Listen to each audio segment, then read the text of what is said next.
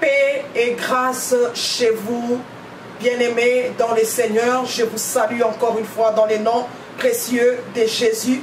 C'est votre émission, Pasteur, dites-nous. Et ce soir, je reçois le pasteur Alain. Bonsoir, pasteur. Bonsoir, Joël. Et depuis un temps, comme nous ne cessons de le répéter, le pasteur est en train de parler sur l'appel de Dieu. Et là, nous sommes sur la préparation. Et j'ai une question pour le pasteur ce soir. Pasteur, dites-nous, pendant la préparation, quelqu'un peut devenir déjà apôtre, prophète, docteur, évangéliste, ou il y a un processus qu'il doit suivre. Parce que lorsque tu constates que tu as l'appel, pendant la préparation, directement, tu te lances dans les ministères où il y a un processus qu'il faut suivre. Yeah, ça c'est une très belle question. Merci beaucoup. Euh, je voudrais dire shalom à mes téléspectateurs. Euh, c'est vraiment très important de comprendre et de connaître certaines choses. Lorsque vous êtes dans la, dans la phase de la préparation, comme on le disait, il y a des préalables, il y a des choses. Si Dieu, Dieu, si Dieu vous appelle, euh, d'emblée, il est difficile de pouvoir identifier qui vous êtes réellement. Apôtre, euh, évangéliste, pasteur, docteur, qu'est-ce prophète, qu'est-ce que encore? C'est difficile dans un premier temps hein, qu'on sache localiser quelle est votre spécialité. Il y a, mais le Dieu qui vous a appelé, au début, il peut vous appeler, il peut vous communiquer, il peut vous dire, mais la plupart des gens, lorsqu'ils entrent dans, dans, dans la phase de la préparation, Dieu leur dit seulement qu'il les appelle et puis il commence le processus de la préparation, sans au préalable connaître s'ils sont appelés à devenir euh, telle personne ou telle personne dans le ministère, selon les cinq ministères. Donc c'est tout un processus.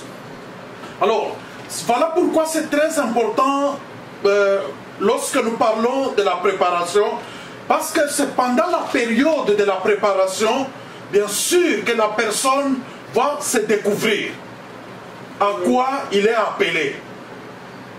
Tu comprends?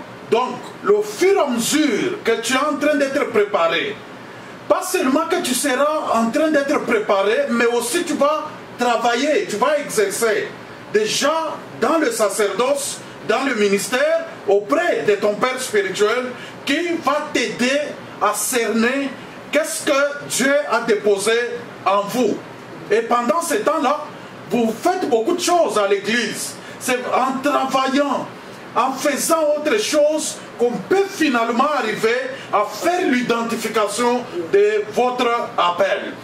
Mais la question de dire si directement on est appelé, on est déjà bishop, on est déjà apôtre, ceci, cela. Oui, Dieu est souverain, il peut vous montrer clairement ce que vous allez devenir, mais bien sûr, vous n'allez pas automatiquement euh, devenir pasteur. Aussitôt Dieu vous dit, vous serez prophète, aussitôt vous vous mettez déjà à prophétiser. Ça ne se passe pas comme ça. Il y a toujours une phase de préparation. Moi personnellement, je suis de l'école du processus. Ça signifie quoi? Le Dieu qui appelle, il ne peut pas vous appeler aujourd'hui et directement il vous fait entrer en fonction. C'est-à-dire, vous commencez déjà à exercer comme prophète, comme pasteur, comme apôtre, comme docteur. Non. Il y a toujours un processus. Parce que le Dieu qui, appelle, c'est un Dieu qui déclenche le processus, qui, poursuit le processus et qui aboutit avec le processus? Et moi, je crois en ces dieux-là. Je sais qu'il y a des gens qui croient à l'opportuniste, à l'opportunisme en plus, c'est-à-dire qu'aussitôt appelé, aussitôt il tombe comme euh, le chevet dans la soupe et il commence à exercer. Moi, je crois que lorsque Dieu vous appelle, il doit vous faire monter petit à petit tout en suivant les étapes. Vous pouvez commencer par servir votre Père, servir à l'église, faire certaines choses à l'église jusqu'à ce que le Père va constater que c'est le temps hein, de vous consacrer comme pasteur, comme prophète, comme euh, apôtre, euh, j'en passe. Voilà pourquoi Jésus, dans la parole, il a pratiquement donné l'école du processus que lui-même appelle la fidélité. Si vous lisez en Matthieu chapitre 24, le Matthieu, Matthieu chapitre 25, prenez Matthieu 25, vous allez trouver plusieurs versets où Jésus-Christ est en train de donner pratiquement la leçon de, la fidélité. Ça signifie quoi? Jésus dit, par exemple, que si vous êtes fidèle dans des petites choses, vous serez aussi fidèle dans les grandes choses. C'est-à-dire que lorsque Dieu nous appelle, il ne va pas nous basculer directement dans des grandes choses, mais il commence avec nous petits et il monte progressivement. Excusez-moi, pasteur, de vous interrompre. Quand vous dites petit, donc je peux avoir l'appel de Dieu, j'évolue dans une église où je suis en train de soulever les chaises, j'arrange l'église. C'est possible quand vous parlez de petit Ya, vous avez effectivement raison. Lorsque Dieu vous appelle, pour des grandes choses, il ne va pas vous amener directement aux grandes choses. Il commence un processus. Yeah. Il peut vous appeler à devenir apôtre, prophète, évangéliste, mais vous pouvez vous retrouver auprès de votre Père spirituel en train d'essuyer les bancs, en train d'arranger les choses à l'église, en train de nettoyer. Par exemple, moi j'ai commencé par là, j'ai nettoyé l'église. Donc, vous pouvez commencer par des petites choses. Effectivement, Joël, la maladie de l'église aujourd'hui, c'est que aussitôt reçu l'appel, aussitôt on se lance. Ah, ce n'est pas mal, mais ça a des conséquences néfastes. Et ce sont des conséquences que nous subissons aujourd'hui, c'est l'impréparation. Et même le but ultime de ces enseignements, c'est de pouvoir combattre l'impréparation et l'improvisation dans le ministère. Ça engendre beaucoup de dégâts. Moi, en ce qui me concerne, je crois que Dieu commence avec quelqu'un Petit à petit, il vous fait monter. Là, vous allez acquérir l'expérience. Tu sais, Joël, il y a toujours des choses qui vont appeler l'expérience, qui vont euh, nécessiter que vous soyez un homme qui a vécu plusieurs étapes de la vie, vous avez acquis une certaine expérience et ça peut vous aider. Parce que le travail que nous faisons ici, des fois le diable nous visite d'une manière ou d'une autre. Des fois, il même il se déguise. Alors, si vous êtes un opportuniste, vous n'allez pas comprendre que le diable peut se déguiser comme les Gabaonites. Mm. C'est l'expérience qui va vous aider à cerner que ça, ce n'est pas Dieu. Le zèle ici ne vient pas de Dieu. Ça, c'est le zèle amer. Il n'y a que quelqu'un qui a assez d'expérience. La ruse ne va pas vous aider à identifier ça.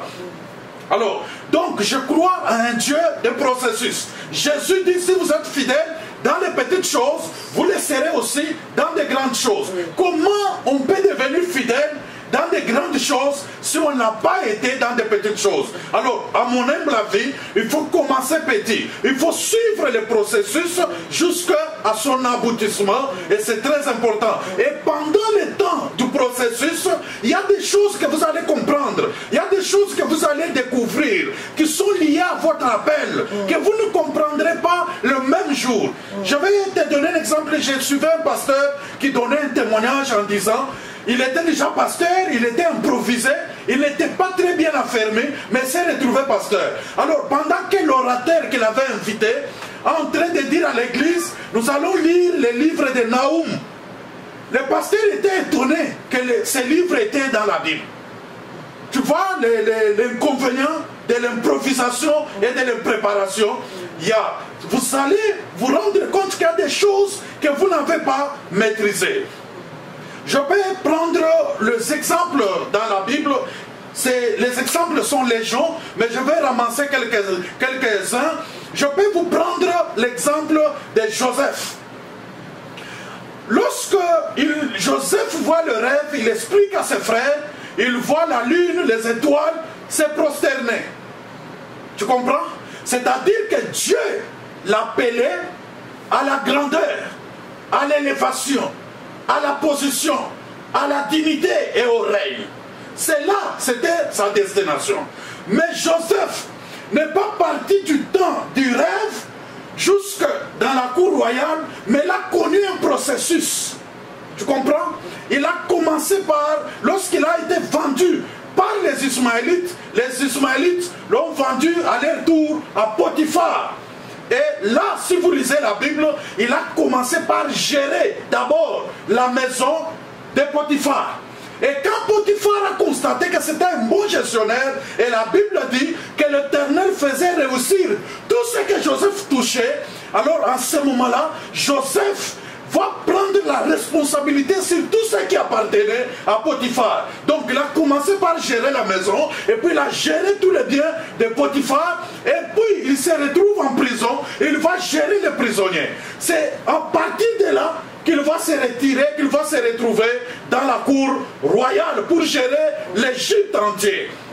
Tu vois? Donc il n'est pas parti du néant vers la grandeur. Moins infini à plus infini. Il a connu tout un, un processus. Tu comprends? Et pendant cette période de son processus, il y a des choses qu'il a compris.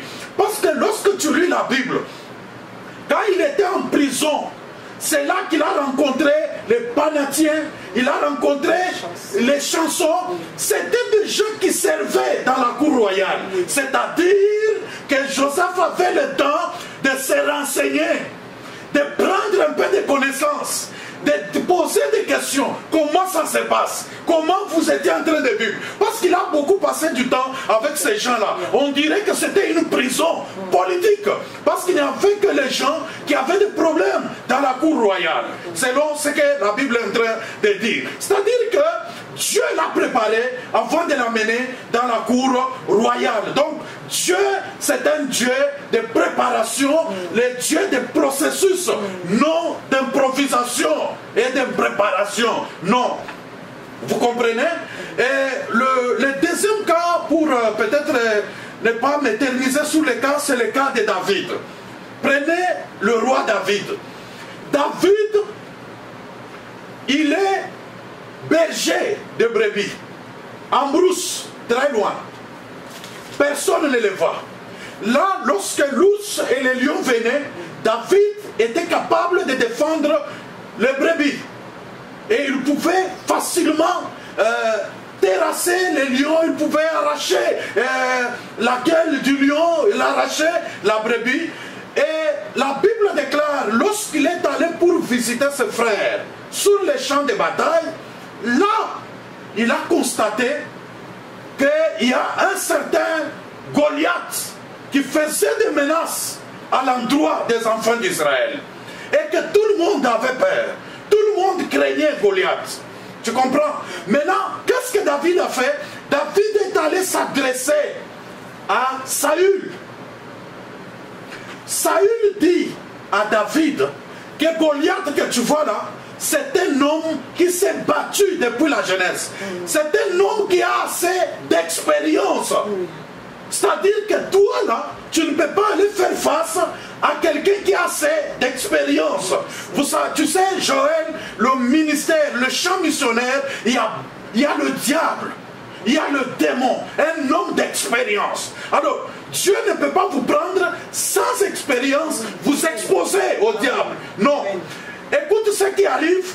David va commencer à narrer à Saül aussi son expérience. Mm. Saül ne savait pas que dans son royaume, il y avait quelqu'un qui pouvait tuer les lions. Mm. Saül ne savait pas que dans son royaume, il y avait quelqu'un qui pouvait tuer l'ours. Mm. Alors, voilà pourquoi il demande, il dit à Saül, serviteur ira se battre. Il présente aussi son kurukurum vitaillé à Saül pour dire que je ne suis pas n'importe qui. J'ai aussi une expérience. Je viens de quelque part.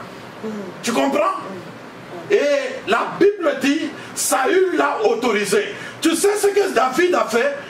Au lieu de prendre les lances et des javelots, il a ramassé une pierre. Joël, moi je suis un villageois. Je sais que lorsqu'il faut utiliser une pierre, c'est pour tuer un oiseau. C'est-à-dire quoi? Ça signifie quoi? Pour David, il avait déjà dépassé le niveau de tuer un homme. Il était au niveau de tuer des bêtes féroces. Pour lui, quand il regarde un homme, il voit un oiseau qu'il doit tuer avec une pierre. C'est-à-dire qu'il a minimisé Goliath à cause de l'expérience. Donc l'expérience, c'est quelque chose de très important qu'il faut acquérir. Parce que vous n'allez pas vous improviser. Il y a des gens qui tombent sur des opportunités, qui s'improvisent, qui tombent comme les cheveux dans la soupe et qui cherchent à ce qu'on les accepte. Ils veulent se frayer un chemin. C'est bien. Le gens peut vous, vous le chemin à cause du charisme. Comme on l'avait dit l'autre fois, mais l'ennemi que vous allez rencontrer sur votre chemin, il va prendre plusieurs faces. Parce qu'il a l'expérience, l'ennemi. Il a l'expérience, l'ennemi. Et voilà pourquoi Dieu ne peut pas prendre le risque de vous amener déjà sur les, dans les fonctions sans que vous ayez assez d'expérience. Et le même David, pour revenir à ce même David, David, lorsque il avait déjà l'onction royale, il avait déjà été roi, il avait même déjà travaillé dans la cour royale comme chantre. Il chantait et les démons sortaient chez Saül. Il avait déjà l'onction. Tu vois ce qui arrive? Mais David n'est pas parti de la brousse. Là où il était en train de diriger les troupeaux jusqu'à devenir roi d'Israël. Non. Il a connu un processus établi sur les brebis. Quand il a quitté le rang des brebis, il était établi sur Jida. Et puis, sur la famille, et puis sur Jida, et puis tout Israël est venu les chercher. Tu vois comment Dieu est parti avec David? Il a suivi tout un processus. Dieu, c'est un Dieu de processus. Lorsque vous brûlez les étapes, vous allez rencontrer des réalités, des fois qu'on ne vous a pas dit. Il y a des choses compliquées, Joël, dans le ministère. Il y a les amis d'aujourd'hui peuvent devenir les ennemis de demain. Ceux qui vous appellent dans d'aujourd'hui, ils peuvent être vos, vos, vos ennemis demain. Ils peuvent être en train de vous insulter demain. Comment vous allez le gérer? Si vous n'avez pas été préparé Voilà pourquoi la préparation, le processus est très important. Donc si Dieu vous appelle à devenir ministre de Dieu, c'est mieux d'aller petit à petit, lentement, jusqu'à ce que vous serez vraiment prêt à prendre de responsabilités au lieu de s'improviser, au lieu de, de, de tomber sur une opportunité et vous commencez déjà à exercer, il y a des choses qui vont vous surprendre. Il y a des choses qui surprennent toujours dans le ministère, les non-dits du ministère, les à côté du ministère, la face B du ministère, les aléas du ministère. Ce sont des choses que vous allez rencontrer, les choses qu'on ne vous a pas dit. Mais si vous montez petit à petit, vous avez au moins le temps de vous référer. Voilà pourquoi David dit, les mêmes dieux qui m'avaient sauvé, quand, quand devant l'ours et devant les lions, tu vois, il a, il retrace son chemin. Il a une référence. Il a euh, un cursus. Il a acquis l'expérience. Voilà pourquoi David n'avait pas peur d'affronter Goliath. Parce qu'il s'est dit, si moi ici je maîtrisais les lions, je maîtrisais l'ours, Goliath ne fera rien. Voilà pourquoi il a dit aux gens, ne vous découragez pas, votre serviteur ira. Parce qu'il était déjà prêt. Ah, donc l'école du processus est très important dans la vie de celui qui est appelé par le Seigneur. Parce que, pasteur, quand quelqu'un, euh, on a eu à prophétiser sur lui, tu seras pasteur, tu seras apôtre, et ils veulent plus euh, toucher. Pour eux, torchonner à l'église, c'est trop bas. Arranger les chaises, c'est trop bas. Donc vous sentez vraiment quelqu'un, il prend déjà de l'air et vous n'arrivez plus à le maîtriser. Yeah, effectivement, c'est un combat du siècle. Oui, le temps que nous traversons avec la mondialisation, avec l'Internet, Facebook et autres choses, tout le monde veut devenir grand le même jour. Ah, aussitôt appelé, il va apparaître. Que tout le monde parle de lui, que tout le monde sache qu'il existe aussi. C'est très important. Vous pouvez travailler sur la visibilité, mais il y a des choses qui vont vous surprendre sur le chemin. C'est pourquoi c'est toujours important. Dieu, il commence petit pour terminer grand. C'est comme ça qu'il commence. Il y a les dieux que nous prions, c'est vrai. Il y a des jeunes qui vont vous dire Dieu, c'est un Dieu de grandes choses. Oui, j'accepte, il est le Dieu des grandes choses, mais quand il commence petit, il ne va pas rester petit avec vous. Il va aller dans la grandeur. Mais il doit commencer avec vous petit. Voilà pourquoi aujourd'hui vous allez trouver les jeunes qui ne veulent plus rester au pied des autres personnes pour apprendre. Ils veulent déjà monter. Donc ce n'est pas mal de monter, mais rassurez-vous que vous montez bien pour pérenniser votre montée. Parce que vous pouvez monter mal. Yeah. Voilà pourquoi je conseille toujours aux jeunes, même à certains adultes qui ont le ministère, que le Seigneur a appelé, d'aller lentement. Vous commencez par être au pied de quelqu'un, servir quelqu'un, servir dans une église, arranger les bancs, faire le protocole. Vous pouvez être un diacre. Vous suivez quand même un cursus.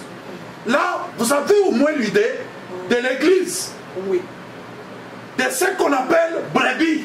Parce que le, le- les brebis, la brebis ne donne pas seulement du lait, il a aussi des, des- des complications, des caprices très graves qu'un berger doit maîtriser. Alors, deux fois, quand on voit seulement un pasteur en veste, on rêve aussi de venir comme lui. Mais le pasteur là qui est en veste, il ne vous dira pas les, les à côté, la face B, des vestes qu'il porte, les réalités que ça cache. Tu comprends? Voilà pourquoi c'est important d'aller petit à petit maîtriser certaines choses. Donc moi personnellement, je crois à un Dieu de processus, à un Dieu qui commence petit pour terminer grand. Mais il arrive que les gens soient complexés. Oui, complexé. Le complexe de supériorité. On voit déjà qu'on est grand. Parce que le Seigneur t'a dit ça, il t'a promis ça. C'est le réel combat que nous avons aujourd'hui. Donc il faut briser ce complexe. Il faut accepter de commencer petit. Dieu qui vous fait commencer petit, il sait qu'il va, va terminer avec vous dans la grandeur. Parce que quand, lorsque vous servez les autres, Dieu aussi permettra que les autres vous servent aussi. Effectivement, Joël, parce que euh, vous ne pouvez pas demander aux gens de vous servir demain si vous n'avez jamais servi quelqu'un. Vous ne pouvez pas demander demain aux gens d'être fidèles à vous si vous n'avez jamais été fidèle à quelqu'un. Vous n'allez pas demander aux gens de se plier à vous si vous ne vous êtes jamais plié à quelqu'un d'autre. C'est la loi de la réciprocité. Ah, ce que vous refusez de faire aujourd'hui, demain, ça va vous rattraper. Vous allez certainement monter. Il y a des jeunes qui quittent les églises, ils commencent le ministère là-bas, il a cinq personnes, ils commencent l'église, c'est très bien. Vous allez monter, vous allez atteindre l'apogée, mais sachez que vous aurez aussi affaire à des gens comme vous qui vont aussi recevoir l'appel de Dieu, ils vont vous faire la même chose. Voilà pourquoi c'est très important de pouvoir suivre le processus. Si vous êtes fidèle dans les petites choses, vous allez devenir aussi fidèle dans des grandes choses. Et c'est très important. Merci beaucoup, pasteur. C'était votre émission, pasteur. Dites-nous, s'il vous plaît, allez sur YouTube, écrivez Alain Chamala, abonnez-vous, aimez la vidéo, partagez-la. Allez aussi sur notre page de l'église Cité des Refuges, bar E M E R C. Aimez la page, s'il vous plaît.